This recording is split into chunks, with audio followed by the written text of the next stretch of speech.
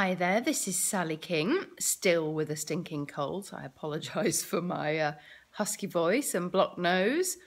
Um, let's talk about uh, high chairs and eating. Now, um, Clemmy fits perfectly in her normal high chair. Uh, that's the first thing I'm going to say. Obviously, you can forget cafe high chairs and restaurant high chairs because they're normally those awful heavy wooden things um, and they don't fit in them at all, or the IKEA plastic ones, um, which they definitely don't fit in with the spica. But as you can see, Clemmy fits in her high chair perfectly well. The straps do up fine. Um, she doesn't like sitting in it for more than 20 minutes. That's the only thing I'll say. And this is the regular Chicco Polly high chair um, and it does a perfectly good job. She, I've had to slightly recline the back because she is obviously sat slightly reclined in the spica cast. And that's the only thing I would say is they're quite far away from their food. So when you fit the tray, which I'm about to do, you will see that there's only so far that the tray will go in. So actually Clemmy is sat quite far away from her food. So lots and lots of spillages. And obviously you've got to be careful not to get the spica wet. So any um, drinks or anything like that, or soup, or stews or gravy, as we found out, um, ends up, you know, right down the front.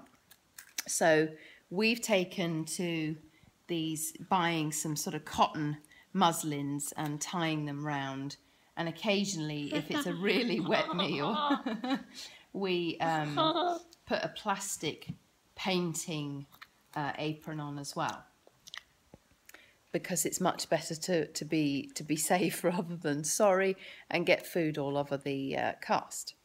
Um, the only other thing that I will mention about eating is don't forget that um, because the spica is reasonably tight on their tummy, they're not going to want to eat much at any one time. And um, that's something very well worth remembering.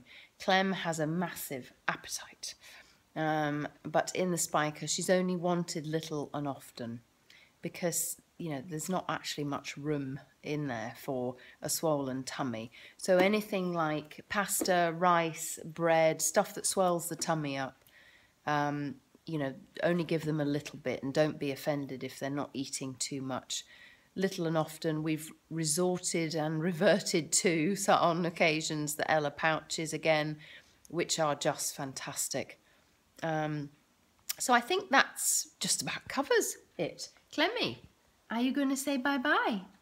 Say bye-bye. Bye-bye, everybody. I uh, hope this has been helpful. Uh, speak to you soon. Bye.